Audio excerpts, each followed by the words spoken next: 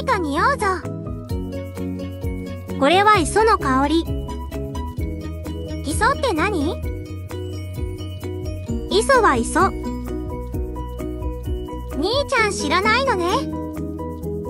ここは海なんです。海って何？海は海。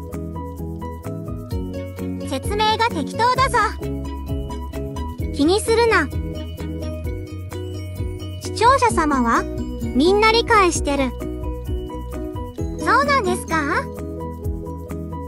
まあ海は広いってことで。舐めるとしょっぱいらしい。海が広いのと、しょっぱいことって関係あるの？知らん。兄ちゃん知らないこといっぱいだね。それ以上言うと、遊んであげないよ。ごめんなさい。兄ちゃんごめん。海は海、磯は磯。そしてしょっぱい。ミステリアスだね。そんな言葉どこで覚えた？ドラマ。ミステリとゲウマルレそんなセリフあったか？知らんお前も適当だな。似た者同士だね兄ちゃん。一緒にするな。ところで、今どこにいるかわかるか？海、磯、しょっぱいところ。そうではなくて、この港がある場所。知らん？車に乗って気づいたらここにいた。初めて来たところだからね。ここは、いわきららミュー。いわきのいいもの全部ある。をキャッチフレーズにした、観光物流センター。兄ちゃん、どうした？海って広いんだね。そうだね。お家のお風呂より広いね。そうだね。海からの風は少し寒いね。そうだね。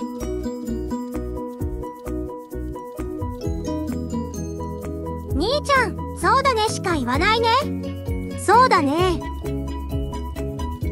兄ちゃん、面白くないぞ。寒いから。寒いからお話できない。日陰ゾーンは寒い。早く日差しがあるところへ。服着てるのに。そういうことではないぞ。ねえねえ兄ちゃん、どうした？今度海に入ってみたい。気持ちいいのかな？お風呂のように気持ちよいかもね。けど、暖かくはないぞ。冷たすぎで、風邪ひくぞ。そうだよね。遠くから眺めるくらいがちょうどよい。そうだよね。兄ちゃん、かっこいいだろう。そうだよね。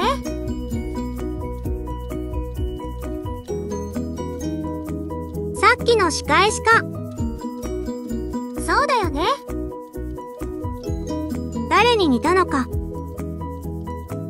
兄ちゃんしかいないでしょ。そうなるよな。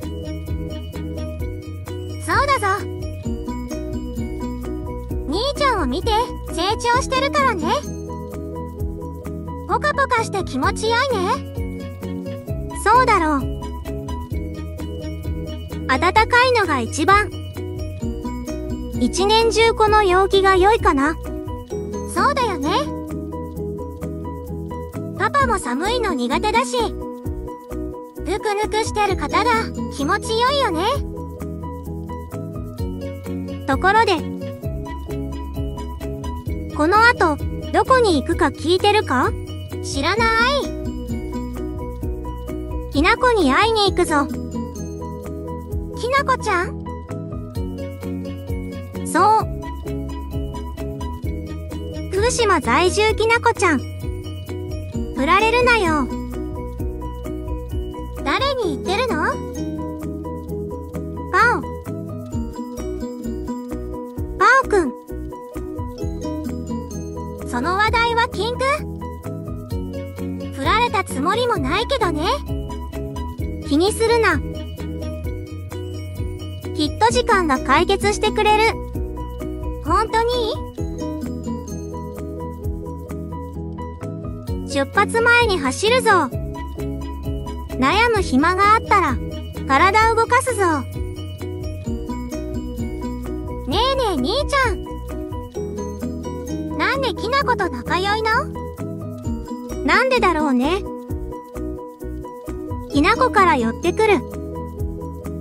僕が近づくと逃げていく。嫌われてるのかな？